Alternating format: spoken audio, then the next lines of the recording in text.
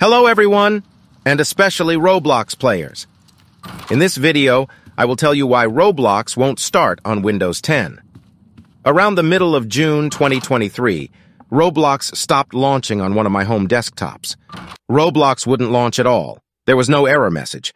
The application simply disappeared from the processes in the task manager, and that was it. I've tried many ways to fix this. Uninstall Roblox and reinstall it. Delete temporary internet files. Clear the cache.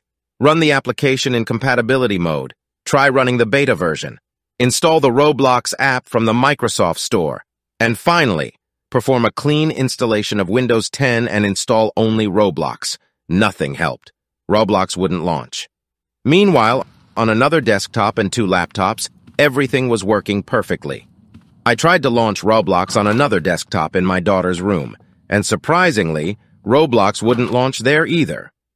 The only component that was the same in both desktops was the processor, Intel Pentium Processor G Series.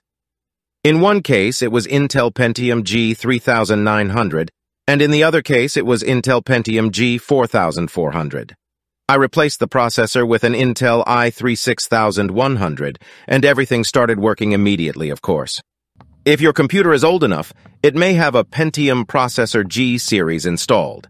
If Roblox is not launching for you, and none of the above methods helped, check what processor is installed in your computer. This is very easy to do.